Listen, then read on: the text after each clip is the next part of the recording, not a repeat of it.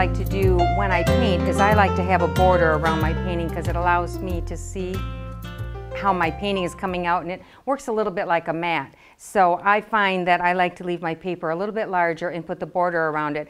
When you're finished, you can either leave the border to mat it later or you can then mat right up to the border and you've got some extra paper around to use for your matting and framing. So I use it for a couple reasons. I've already done three sides of this, but I'm using the two inch artist tape today by Cheap Joe's. They also have a one inch and I believe a three quarter inch. I like the wider mat because it gives me a little bit more space around my painting. And I uh, put it on just in the drawing process before I start. One of the things I like particularly well about it is that it is white.